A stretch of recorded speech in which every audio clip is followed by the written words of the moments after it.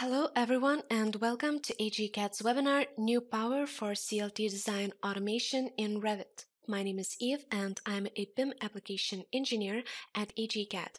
I have a bachelor's degree in architecture and worked for several years in that field. My work today is related to the wood framing solutions.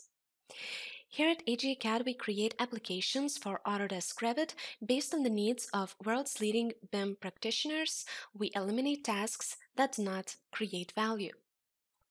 We've developed the widest range of TrueBIM software in the world for Revit professionals, covering wood and metal framing, precast concrete design, and MEP system design.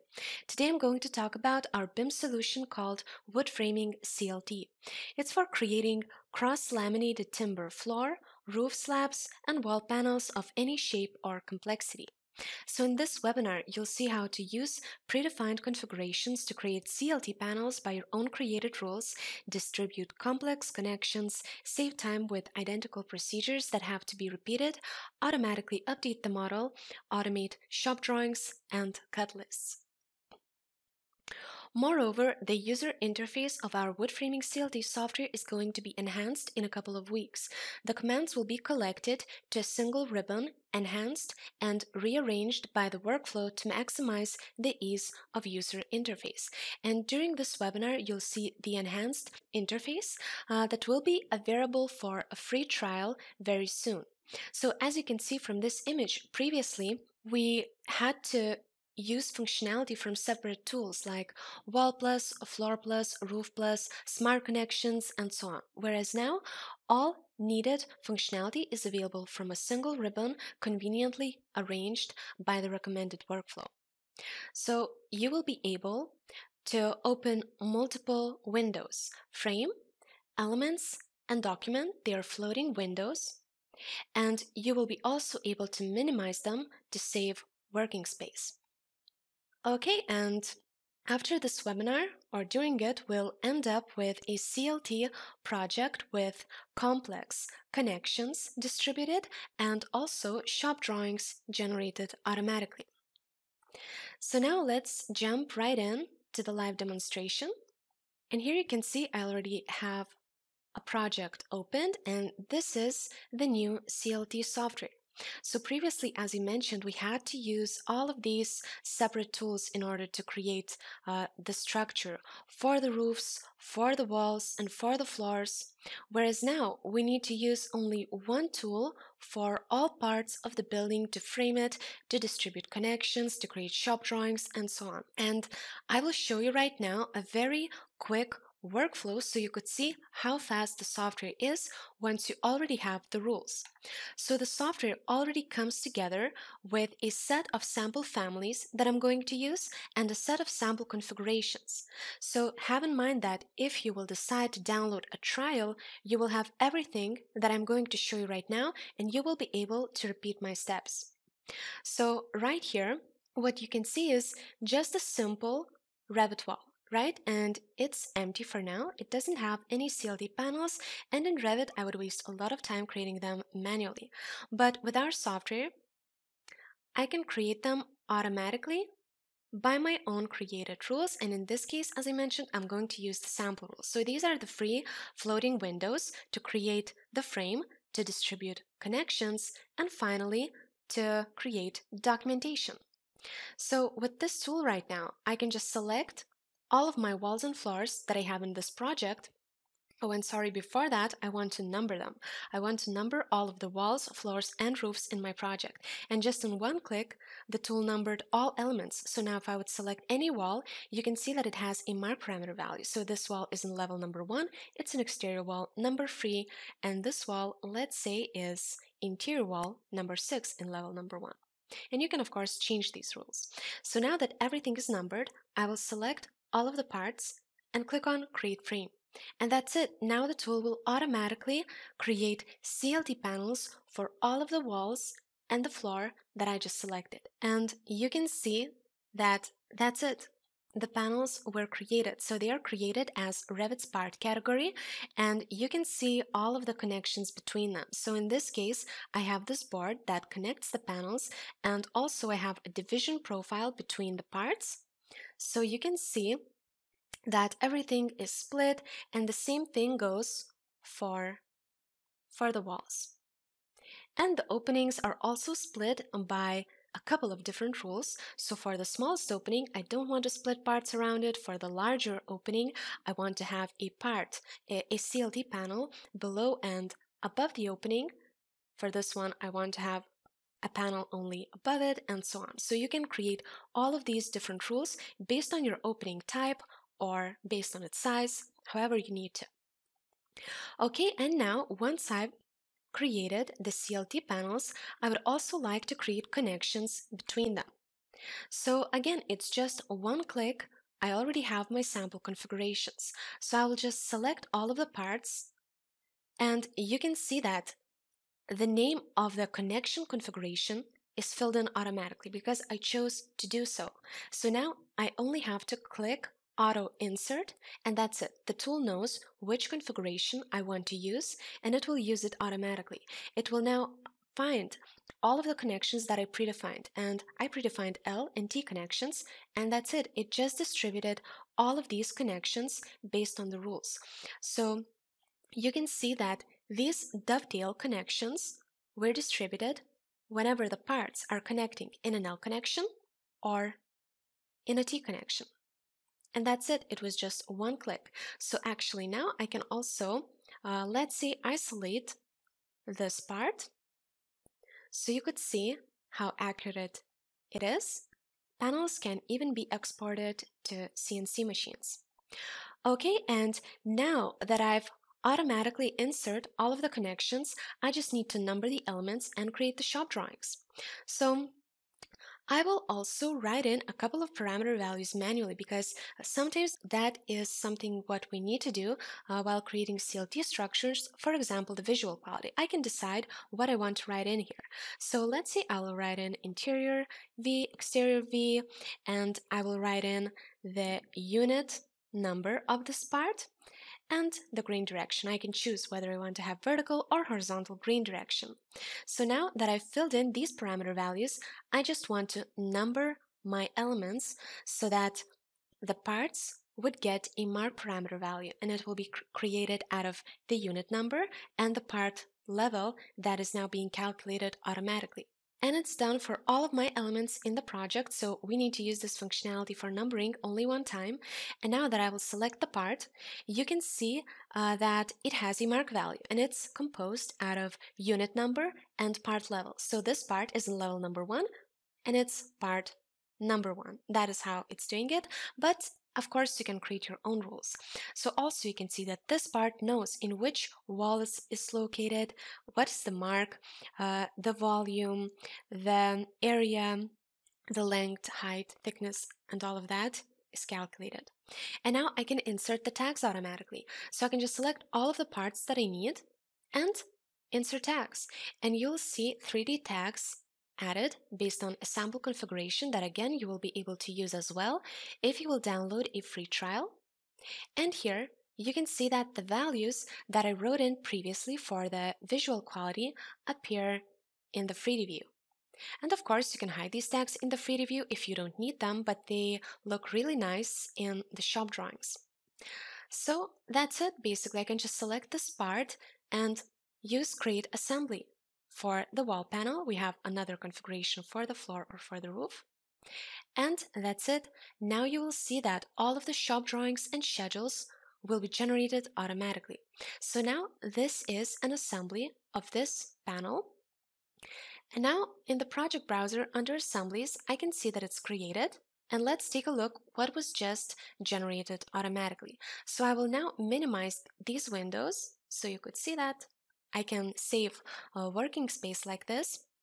And here you can see the 3D view of the panel. Also, the elevation top view. These are the tags. You can see that they look pretty nice for the visual quality. All of the dimensions are added automatically. Also, I have the schedule where I can see the mark of the part, thickness, length, and whatever I need actually you can modify these schedules. And then the elevation front view, so here you can see that again, all of the dimensions are added automatically and the dimensions are even moved automatically so that they wouldn't overlap And the tag, you can see it's it has a horizontal direction because for this part I said that the grain direction is horizontal. And finally we have a section view. So basically that's it. Now I just have to um, create this layout on my sheet and then later I can set this sheet as a template so I need to create this layout only one time and add a schedule and that's it. You can see how fast the tool is once I already have the rules and they need to be created only one time. From there, that's it. You can just use them in the future. Okay, and now once you saw the whole workflow from start to finish, I will show you everything again using a different example uh, and maybe show you some more features, how we can modify the frames, how we can automatically update them. Uh, and have in mind that my purpose right now is to demonstrate the possibilities, uh, but the tool comes together uh, with training sessions, so we would go into more detail during those. Okay, and this time again, I'm using a different configuration this time. So if I would select this wall, again, just with some more details, you can see that it has one layer in Revit. And now, with our tool, I can click on link type and you'll see the same wall structure I can map a configuration that I want to use. So previously I used this configuration with the board, but now I will use a configuration with a half lap. So I will frame this wall, these walls, and also I will split the parts for them to create the CLT panels. And you can see that each wall type can have a different rule applied, and you can have as many rules as you need. These are the sample ones, so you will be able to use them as well. And now, once the configuration is mapped, I can again just select all of the walls, and also I will select the floor and create the frame. And that's it. Now the tool will frame these elements based on a different configuration. So now instead of having the connection with the board, I will have a connection with a half lap. So I just want you to understand that the possibilities are very wide. So it all depends on the connections that you need. Basically, we need to create a family for a certain connection type, and then that's it. The main thing is that with our software, elements are automatically distributed in one click. So this is just a sample library and it can be expanded based on each user's needs. Okay, and that's it again. So you can see in this example that I have a half lap connection for the walls and for the floors as well. And this time the walls are overlapping a little bit in the connections. You can see that in the L connection and in the T connection, they intersect. And that's fine. That is what I predefined in the configuration. And later you will see why. We will create connections between these T and L uh, panels as well. Uh, so now, once I've created the frame, of course, just like before, I could just go ahead, insert connections, the number elements, and create the shop drawings. But let's say that sometimes I need to modify the frames after they are created. And there are a lot of ways how we can modify them, and today I'm going to show you a few of them so that you would understand the possibilities because it's impossible to show you each and every situation. They all depend on your needs. So, first of all, Let's say that the architectural model changed and maybe the opening was moved or another opening was added or the wall became longer or shorter and the frame is no longer correct based on our model. Anytime we can use update frame, select any element from the frame and that's it. The frame will be updated, the panels will be updated based on our changes. And you can see that it was updated, it's correct again. And also, uh, we can modify instances of our configurations. So let's say that for some reason, this is a special situation where I need the CLT panel above this certain opening to be larger. But all other openings are fine. In that case, of course, I don't want to change my configuration because this change needs to be applied only for this single opening. And in that case, I can modify the opening. And in this manner, I can actually modify the frame or the connection or anything like that. So I will modify the opening and now I can change the whole configuration for the opening or only one small thing from this configuration. So you can see that right now this is the part above the opening overlap and I will increase it to let's say 300 so you would see the difference. Click on OK and that's it. Now you'll see that it was modified, right? But I just need to split the parts again so that they would be updated. And that's it. That is how easy it is and in this manner we can modify the frame or the floor or the roof, anything. And now uh, let's think of another example. So let's say that we need to move a split in a certain location. Maybe we want to move a split for the wall or for the floor. And these splits are actually created out of structural framing elements that split the parts so we can move them. Now I will uh, show you one thing. Uh, I will quickly show the original view so that we couldn't see the parts anymore and the parts are our CLT panels. And you can see these lines. So these lines are the elements that split our panels and we can distribute them how we like. So these elements have split part parameters, split part priority, and they split the part. And I will modify my view template once again so that uh, we could see the parts, show both. Okay, you can see that they split our parts. And let's say I want to move this split a little bit. So I will open the edit elements window and I will move the step. and I will move it, uh, let's say by half a meter.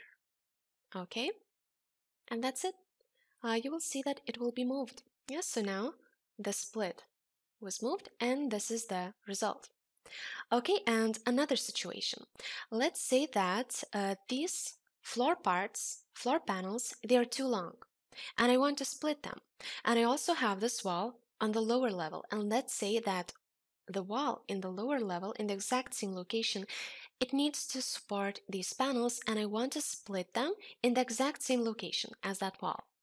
We don't have to calculate that location when we have our tool because it can calculate that automatically. So I will open uh, another window in which I can add additional elements. And I will add an additional bridging, nogging, or blocking. Let's say, as an example, between these three parts. So I'll select this element and this element from my floor. And now I will say which element type do I want to use. And also, you see, I can enter the position, but I can also select a line-based element. So now I will select this wall and the tool calculated the offset automatically. Right, so now I just click on OK and also I just want to update them right now the parts for this floor and that's it. So you can see that we have these large parts everywhere, but where I added that additional element, they're split. And the location was calculated automatically. So you can see that the possibilities to modify the model after we created by the configurations are very wide. Okay, and now let's say that I created the frame, I modified it, and I reached the result. Now I can continue. So again, I can just select all of the parts from these walls. And now these parts have a different configuration, L and T connections instead of dovetails. So I can just use auto insert. The tool will understand which configuration I want to use so I don't have to think and choose. And it is inserting 37 elements. And that's it. So you can see now that previously these parts were overlapping, but now I have these void structural connection elements distributed that create those cutouts, and so I have this L connection. And it even works for walls that are different heights. So this wall is higher, you can see, this is lower and I have that half lap connection. And also this is what I have for the T connection. Okay, and now also I will I will isolate, let's see, this higher part with the T connection and this part with an L connection. And again, I will isolate them really quickly so you could see how the connections are created.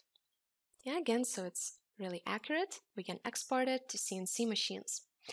Okay, and now once the connections were inserted, again, we can do the same thing. We can fill in the parameter values for our parts and create the shop drawings. So I'm going to write in the values for the visual quality. Uh, this time the unit number will let's say be uh, unit number two because this is a different building. Uh, we can use this for that. And then the grain direction. So for one of these parts, I will say that the direction is vertical and for another one it will be horizontal so you will see the difference between the tags.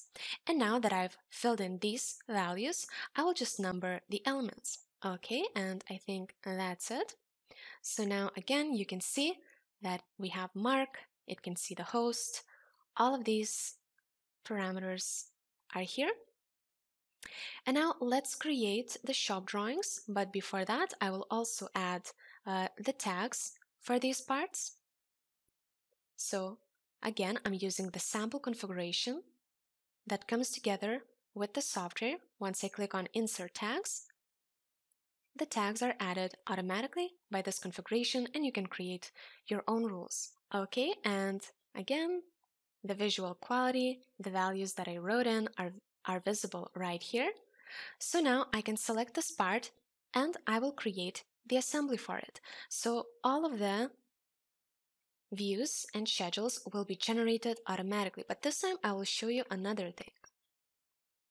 So this is the part that I've created an assembly for. So again, the 3D view, uh, the elevation, top view with dimensions added automatically. Also, uh, the schedule with all needed information, the elevation front view, you can see the grain direction is horizontal, for this part, all of the cuts are dimensioned, the connection is visible right here, and I will create a layout on the sheet. So remember I told you that we need to create this layout only one time and all other sheets uh, will be generated automatically for us. So that is what I'm going to show you uh, right now. I will maybe move this a little bit further and like this right? So I've created this template and now I will go to assemblies configuration and I will say that I want to use this sheet for the part in unit number two as a template sheet for the future. So that means that now, whenever I will create a shop drawing for a part that uses the same configuration, the sheet will be generated automatically as well, not only the drawings and schedules. That's it. Okay, so let's take a look. This is an assembly for, okay, let's take a look at the name for part number 502 because it's in level number 5. And you can see that previously for this part, we created the sheet manually. And now for the part with the T connection, the sheet is generated automatically and the views are placed in the exact same locations. And also, for that previous part, remember we had a horizontal grain direction. So the tag shows us horizontal arrows, and this time I've created a panel with a vertical grain direction. And in these tags also you can see the mark value of the part and the visual quality of the exterior and interior side. Okay, so you saw already a couple of examples how we can quickly uh, create the project from start to finish. And now I just want to show you a couple of more interesting examples as well. So this is right now a wall that has multiple layers.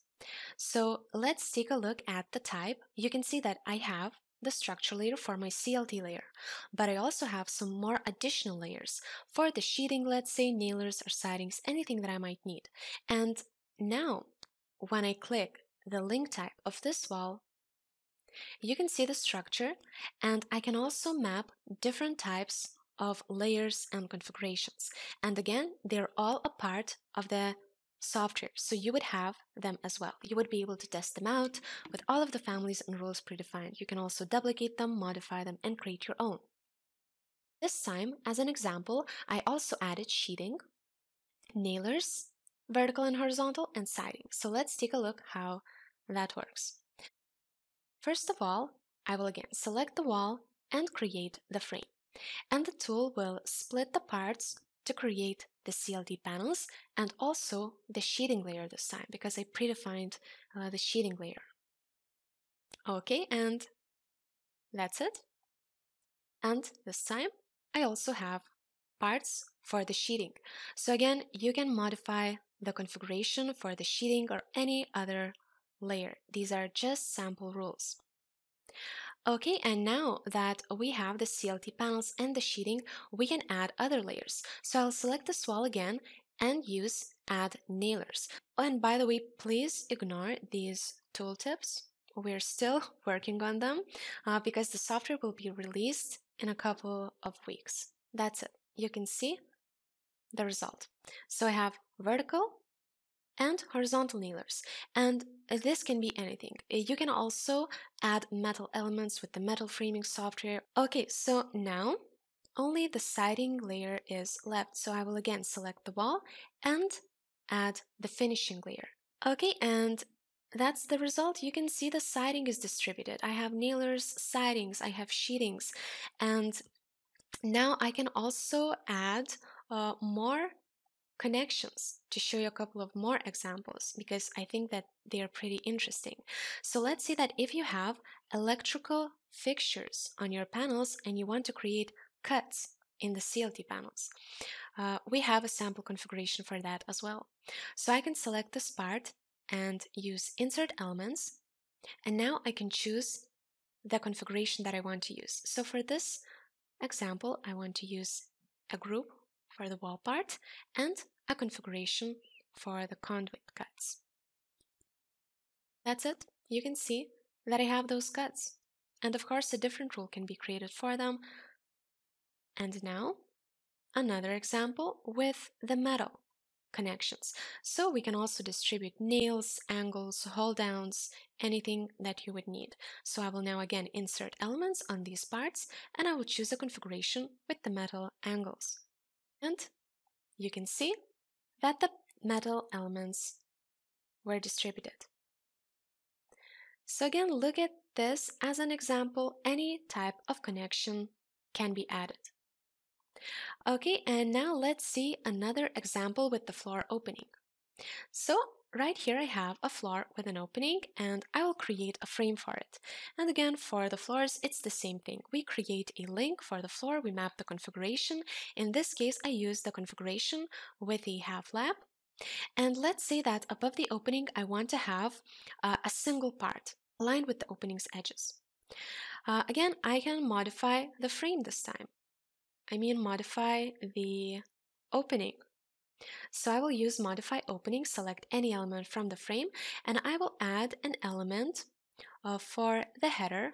Also, I will add an element for the sill, and I will add top cripple trimmers.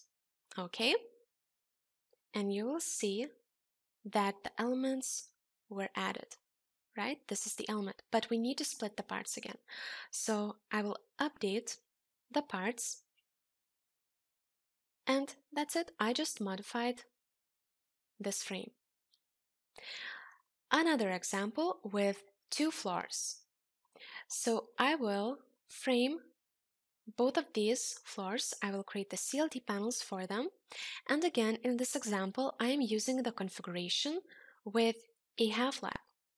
And you can see that the half laps are created whenever the panels are in the same floor and they're in the same direction. But for this floor, the panels, they're going in a different direction than in this floor. And let's say that I want to have the half lap created between the panels in different floors. And I can do that as well uh, using commands from the elements menu. So first of all, I want to modify these parts. I want to extend them. So I would have a similar result uh, to when I remember extended the wall parts to create the L and T connections. So I'll do the same thing here. Instead of applying it to the configuration, I will modify the parts because uh, in this in this case that is what I want to do. I don't want them to be modified for all of my flowers. And I will add an extension for all of these parts. Yeah, and you can see now that they are extending into this part. And now that they are extending, I will select all of these parts and I will insert elements. I will insert cuts for the top of the panels. So I will choose a half lap cut for the top of the panel, insert details, and that's it. You can see now that I have this cut, but I don't have a cut for this part. So I will add it as well. I will insert elements again and I will choose a different rule for the left side of the panel cut and the cut will be added to the bottom. That's it. So now I have this cut created. For you to see better, I will isolate these two elements. Yeah, and you can see what kind of connections can we create. Okay, and another example. So you can see here that again I have this floor, but this time uh, the beam is going throughout the floor. And let's say that I want my CLT panels to be supported by this beam. So they need to be split automatically and maybe a certain cut needs to be created. So first of all, I will create the CLT panels. And now I will insert a cut element into this beam so that the element would cut the parts later. So again, we have a sample rule for that. I will insert elements and this is a cut configuration. And you can see now that the cut was added, but it also cuts the beam. Don't worry about that. It will be fixed very soon.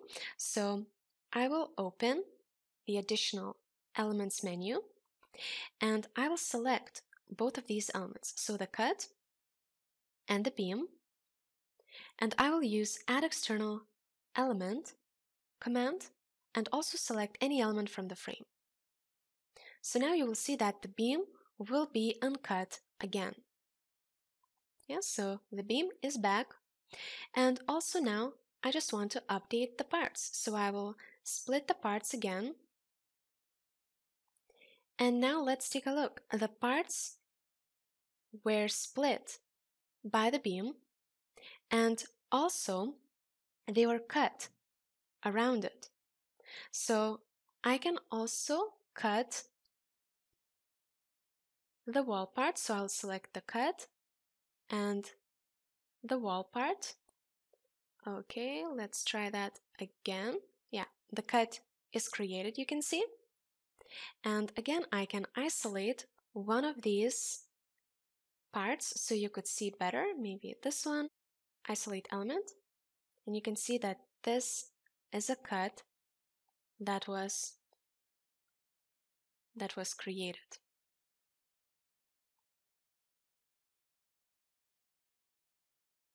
Okay, I will reset the view and also open another one. Yeah, you can see how the parts are cut around the beam and the wall part as well. Okay, and another example with the roofs, so you could see that we can do the same thing for the roofs as well.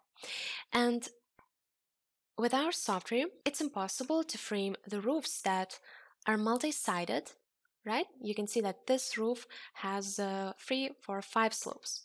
So before framing it, we have to split the roof. We can do that, of course, automatically with the software. Uh, but before uh, splitting the roof, I have actually moved these main roofs to a different phase so that later I wouldn't have a bunch of roofs in the same place. So it just helps me to keep my project tidy. So what I will do is I will use split roof and select this roof. And you can see that a separate roof was created for each slope and now I will be able to create panels for those roofs. And I will do the same thing for this roof as well. Right, and again the same thing. And I will go to another view where that phase is hidden. So here my roofs are not duplicating. And now again, the same thing, the configurations are sample ones. They're already mapped uh, for this roof type. So I can just select all of them and click on create frame. So one of these roofs will be framed with the board connections and another one will be framed with half lap connections. And that's it. This roof has a half lap connection. This roof has a board connection. And now also you can see different types of ridges. So for this roof, the ridge connects in, I would say, it, it it's basically mitred, right? Like this. But for this roof, let's say I wanted to have a 90 degrees panel. So my ridge looks like this. So again, it, it depends on you, how you want to create it. And now we can take a look at a couple of more different ridges. So in this case, you can see uh, that I've added a structural framing element for the ridge.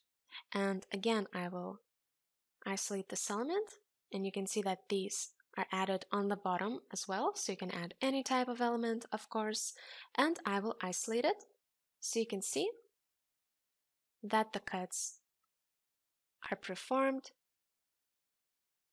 Okay. And I will now reset the temporary isolate mode and you can see another example with the roof that is not mitred, that connects like this. So it all depends on your needs. And the final one is when the walls are connecting to the roofs. So you can see that this is one type of connection and this is another type of connection. Okay, and I think that's all that I wanted to show you in this live uh, demonstration. I hope you enjoyed the demonstration and saw uh, how wood framing CLT greatly reduces the time spent on manual tasks, human errors, and also optimizes your work. So now I would like to encourage you to download a free trial once it will be available. So previously, our CLT software was quite difficult to use and users had to purchase a training session together with it because it was uh, very very hard to understand how to use it uh, without a training session. And now I'm very glad that we finally enhanced the user interface of our wood framing CLT solution so that everyone could download a free trial and use it free for 14 days to make sure that it fits their needs. And the free trial of the software, as I mentioned, will be available in a couple of weeks. So now if you would visit our webpage and go to products and wood framing CLT, uh, you will see uh, that the trial is not available at this moment because we're still working with the software to, you know, uh, make the final steps to complete it. Uh, but once it's finished, you should get an automated email so you'll know uh, when you can finally try this software for free. And also, let us know if you would like a personal online demonstration because that is also uh, possible. We would answer all of your questions that you would have during that uh, online demonstration. And the software also, of course, comes together with uh, training sessions. So we would help you, we would teach you how to use it, how to create your own elements for connections, and so on. Uh, so now don't run away those of you who had questions. I will answer them shortly uh, but those of you who don't have any more questions thank you very much for attending this webinar. I hope that you found it beneficial and i hope to see you in our future webinars. Thank you again and have a nice day. AGA CAD, building BIM together.